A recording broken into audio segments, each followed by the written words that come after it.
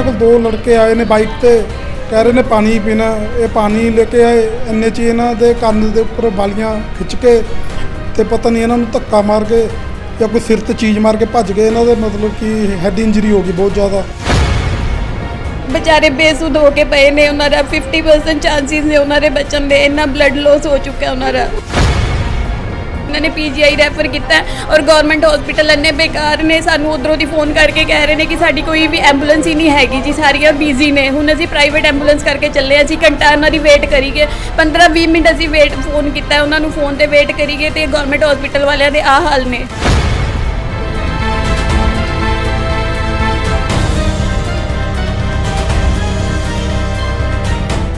ਪੰਜਾਬ 'ਚ ਲੁਟੇਰਿਆਂ ਦੇ ਹੌਸਲੇ ਇੰਨੇ ਬੁਲੰਦ ਹੁੰਦੇ ਜਾ ਰਹੇ ਨੇ ਕਿ ਆਏ ਦਿਨ ਵਾਰਦਾਤਾਂ ਬਾਰੇ ਸੁਣ-ਸੁਣ ਕੇ ਲੋਕਾਂ 'ਚ ਸਹਿਮ ਦਾ ਮਾਹੌਲ ਪਾਇਆ ਜਾ ਰਿਹਾ ਹੈ। ਇਥੋਂ ਤੱਕ ਕਿ ਲੋਕ ਹੁਣ ਆਪਣੇ ਘਰਾਂ 'ਚ ਵੀ ਸੁਰੱਖਿਅਤ ਮਹਿਸੂਸ ਨਹੀਂ ਕਰ ਰਹੇ। ਜੀ ਹਾਂ, ਤੁਹਾਨੂੰ ਦੱਸ ਦਈਏ ਕਿ ਤਾਜ਼ਾ ਮਾਮਲਾ ਖੰਨੇ ਦੇ ਪਿੰਡ ਬੂਥਗੜ੍ਹ ਤੋਂ ਸਾਹਮਣੇ ਆਇਆ ਹੈ, ਜਿੱਥੇ ਦੋ ਮੋਟਰਸਾਈਕਲ ਸਵਾਰ ਨੌਜਵਾਨਾਂ ਨੇ ਪਾਣੀ ਪੀਣ ਦੇ ਬਹਾਨੇ ਇੱਕ ਘਰ ਦੀ ਬਜ਼ੁਰਗ ਮਹਿਲਾ ਦੇ ਉੱਤੇ ਹਮਲਾ ਕਰ ਦਿੱਤਾ ਅਤੇ ਉਸ ਦੇ ਕੰਨਾਂ 'ਚ ਪਾਈਆਂ ਬਾਲੀਆਂ ਖੋ ਕੇ ਫਰਾਰ ਹੋ ਗਏ। ਇਸ ਵਾਰਤਾ ਤੋਂ ਬਾਅਦ ਬਜ਼ੁਰਗ ਔਰਤ ਦੀ ਹਾਲਤ ਗੰਭੀਰ ਬਣੀ ਹੋਈ ਹੈ।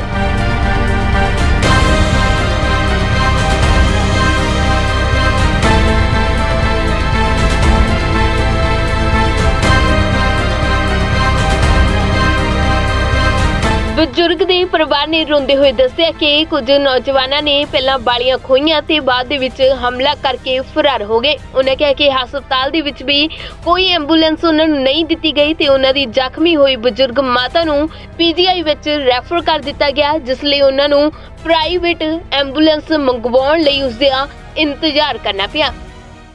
ਮੇਰਾ ਵਰੁਣ ਗੁਪਤਾ ਜੀ। ਕੀ ਹਾਦਸਾ ਹੋਇਆ ਜਿਹੜੇ ਮਾਤਾ ਜੀ ਇੱਥੇ ਆਏ ਨੇ? ਇਹ ਆਪਣੇ ਘਰ ਦੇ ਅੰਦਰ ਖੜੇ ਸੀਗੇ। ਇਹਨਾਂ ਕੋਲ ਦੋ ਲੜਕੇ ਆਏ ਨੇ ਬਾਈਕ ਤੇ।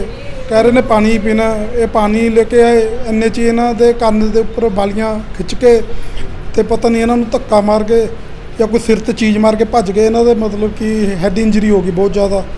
ਬਲੱਡ ਬਹੁਤ ਜ਼ਿਆਦਾ ਇਹਨਾਂ ਦਾ ਯਾਨੀ ਕਿ ਨਿਕਲ ਗਿਆ। ਸੀਰੀਅਸ ਨੇ ਬਹੁਤ ਜ਼ਿਆਦਾ ਇਸ ਵਕਤ ਇਹ। ਕਿੰਨੀ ਕੁ ਉਮਰ ਕਿੰਨੀ ਕੁ? ਇਹਨਾਂ ਦੀ ਹੋਗੀ 55 ਦੇ ਆਸ-ਪਾਸ। ਹੈ। ਨਾਮ ਕੀ ਇਹਨਾਂ ਦਾ? ਇਹਨਾਂ ਦਾ ਸਵਿਤਾ ਵਰਮਾ ਹੈ ਜੀ ਨਾਮ। ਤੇ ਕਿੱਥੋਂ ਦੇ- ਅਹ ਕਿੱਥੇ ਰਹਿੰਦੇ ਕਿੱਥੇ ਨੇ ਜੀ? ਇਹ ਆਪਣੇ ਬੂਥਗੜ ਰਹਿੰਦੇ ਨੇ ਇੱਥੇ ਅੱਛਾ। ਤੁਹਾ- ਤੁਹਾਡੇ ਕੀ ਲੱਗਦੇ ਨੇ ਜੀ? ਮੇਰੇ ਮਦਰ ਇਨ ਲਾਅ ਨੇ ਜੀ। ਤੇ ਹੁਣ ਡਾਕਟਰ ਕੀ ਕਹਿ ਰਹੇ ਨੇ? ਡਾਕਟਰ ਕਹਿ ਰਹੇ ਨੇ ਕਿ ਫਟਾਫਟ ਇਹਨਾਂ ਨੂੰ ਤੁਸੀਂ ਲੈ ਜਾਓ ਅਸੀਂ 40 ਤੇ ਲੈ ਕੇ ਜਾ ਰਹੇ ਹਾਂ।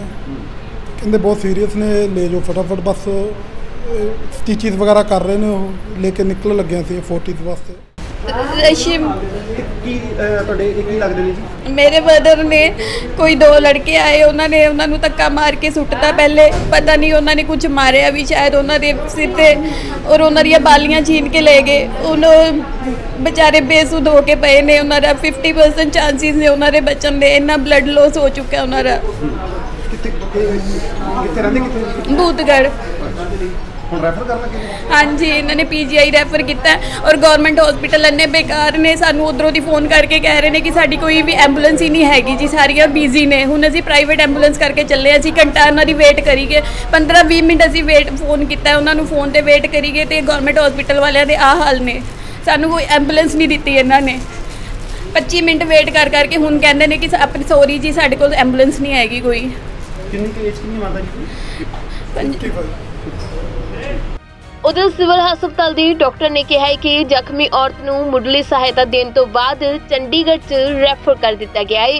ਡਾਕਟਰ ਸਾਹਿਬ ਜੋ ਪੇਸ਼ੈਂਟ ਆਏ ਨੇ ਬਜ਼ੁਰਗ ਮਾਤਾ ਜੀ ਤੇ ਕੀ ਇਨਸੀਡੈਂਟ ਹੈ, ਕਿਦਾਂ ਦੇ ਉਹਨਾਂ ਦੀ ਹਾਲਾਤ? ਸਾਡੇ ਕੋਲੇ ਪੇਸ਼ੈਂਟ ਅਰਾਊਂਡ 445 ਤੇ ਆਇਆ ਹੈ। ਪੇਸ਼ੈਂਟ ਦਾ ਨਾਮ ਹੈ ਸਵਿਤਾ ਵਰਮਾ 55 ਸਾਲ ਉਮਰ ਹੈ।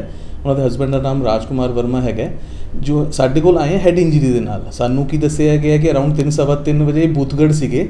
ਉੱਥੇ ਕੁਝ ਲੋਕਾਂ ਨੇ ਕੁਝ ਬਦਮਾਸ਼ ਨੇ ਇਹਨਾਂ ਦੀ ਕੰਨ ਦੀ ਬਾਲੀਆਂ ਖਿੱਚਣ ਦੀ ਕੋਸ਼ਿਸ਼ ਕੀਤੀ ਤੇ ਇਹਨਾਂ ਨੂੰ ਧੱਕਾ ਮਾਰਿਆ। ਉਸ ਤੋਂ ਬਾਅਦ ਇਹ ਕਿਤੇ ਗਿਰੇ ਆ ਜਿਵੇਂ ਉਹ ਮਾਰ ਕੇ ਗਏ, ਉਹਨਾਂ ਦੇ ਸੱਟ ਲੱਗੀ। ਜਦੋਂ ਅਸੀਂ ਇੱਥੇ ਆ ਕੇ ਦੇਖਿਆ ਪੇਸ਼ੈਂਟ ਦਾ ਬੀਪੀ ਕਾਫੀ ਘੱਟ ਸੀਗਾ ਪੇਸ਼ੈਂਟ ਕਾਫੀ ਜ਼ਿਆਦਾ ਸੱਟ ਲੱਗੀ ਹੋਈ ਹੈ। ਸਿਰ ਤੇ ਬਹੁਤ ਜ਼ਿਆਦਾ ਬਲੀਡ ਹੋ ਰਹੀ ਸੀਗੀ। ਤਾਂ ਅਸੀਂ ਫਟਾਫਟ ਆਪਾਂ ਫਲੂਇਡ ਰਸ਼ ਕੀਤਾ ਹੈ, ਆਪਾਂ ਡੋਪਾਮਾਈਨ ਲਗਾਇਆ ਕਿ ਜਿਹਦੇ ਨਾਲ ਉਹਨਾਂ ਦਾ ਬੀਪੀ ਵਧੇ ਹਿਮੈਕਸਿਲ ਲਗਾਇਆ ਹੈ। ਪੈਂਟ ਜੋ ਜੋ ਆਪਣਾ ਟ੍ਰੀਟਮੈਂਟ ਬੰਦਾ ਸੀ, ਆਪਾਂ ਕੀਤਾ ਹੈ ਤੇ ਆਪਾਂ ਟਾਂਕੇ ਲਗਾਏ ਹੈ। 10 12 ਘੱਟ ਘੱਟ ਟਾਂਕੇ ਵੀ ਲੱਗੇ ਹੈ। ਪੇਸ਼ੈਂਟ ਨੂੰ ਆਪਾਂ ਪੂਰਾ ਸਟੇਬਲਾਈਜ਼ ਕਰਕੇ ਤੇ ਆਪਾਂ ਵੱਡੀ ਥਾਂ ਤੇ ਭੇਜਿਆ ਉਹਨਾਂ ਨੂੰ। ਅਸੀਂ ਆਪਣੇ ਵੱਲੋਂ ਪੀਜੀਆਈ ਚੰਡੀਗੜ੍ਹ ਭੇਜਿਆ ਉਹਨਾਂ ਨੂੰ ਕਿ ਪੇਸ਼ੈਂਟ ਦੀ ਹਾਲਤ ਥੋੜੀ ਨਾਜ਼ੁਕ ਹੈ। ਕਿਉਂਕਿ ਪੇਸ਼ੈਂਟ ਦਾ ਬਲੱਡ ਲਾਸ ਵੀ ਕਾਫੀ ਹੋਇਆ ਹੈ ਬੀਪੀ ਪੇਸ਼ੈਂਟ ਦਾ ਬੀਪੀ ਵੀ ਘਟ ਰਿਹਾ, ਆਪਾਂ ਦਾ ਦੋ ਪਾਸੇ ਲਗਾਤਾਰ ਫਲੂਇਡ ਚੱਲ ਰਿਹਾ ਹੈ ਪੇਸ਼ੈਂਟ ਦਾ ਬਲੱਡ ਲਾਸ ਕਾਫੀ ਜ਼ਿਆਦਾ ਹੋਇਆ ਔਰ ਸਿੱਟ ਸੱਟ ਵੀ ਕਾਫੀ ਜ਼ਿਆਦਾ ਹੈ ਆਪਾਂ ਸੂਚਰਿੰਗ ਵਗੈਰਾ ਕਰਕੇ ਪ੍ਰੋਪਰ ਪੱਟੀ ਵਗੈਰਾ ਕਰਕੇ ਫਿਰ ਭੇਜਿਆ ਆਪਾਂ ਜਿਹੜੇ ਔਨ ਡਿਊਟੀ ਸਰਜਨ ਹੈ ਉਹਨਾਂ ਨਾਲ ਵੀ ਗੱਲ ਕੀਤੀ ਡਾਕਟਰ ਜਗਦੀਪ ਬਰਾੜ ਨਾਲ ਉਹਨਾਂ ਨੇ ਵੀ ਇਹੀ ਕਿਹਾ ਹੈ ਕਿ ਜਿਹੜਾ ਫਰਸਟ ਏਡ ਸਾਰਾ ਕੁਝ ਦੇ ਕੇ ਤੇ ਪੇਸ਼ੈਂਟ ਹੋ ਗਏ ਵੱਡੇ ਥਾਂ ਤੇ ਰੈਫਰ ਕੀਤਾ ਜਾਵੇ। ਕਿ ਆਪ ਤਾਂ ਕਿ ਆਪਾਂ ਪੇਸ਼ੈਂਟ ਦੀ ਜਾਨ ਬਚਾ ਸਕੀਏ। ਪੁਲਿਸ ਨੂੰ ਵੀ ਇਹਦੀ ਜਾਣਕਾਰੀ ਦੇ ਦਿੱਤੀ ਗਈ ਹੈ। ਪੁਲਿਸ ਨੂੰ ਮਿਸ਼ਨ ਭੇਜਤੀ ਆਪਾਂ। ਇਸ ਵਾਰਦਾਤ ਉੱਤੇ ਪੁਲਿਸ ਨੇ ਕਿਹਾ ਹੈ ਕਿ ਉਹਨਾਂ ਵੱਲੋਂ ਸੀਸੀਟੀਵੀ ਕੈਮਰਿਆਂ ਦੀ ਫੁਟੇਜ ਖੰਗਾਲੀ ਜਾ ਰਹੀ ਹੈ ਤੇ ਜਲਦ ਹੀ ਮੁਲਜ਼ਮਾਂ ਨੂੰ ਵੀ ਕਾਬੂ ਕਰ ਲਿਆ ਜਾਵੇਗਾ।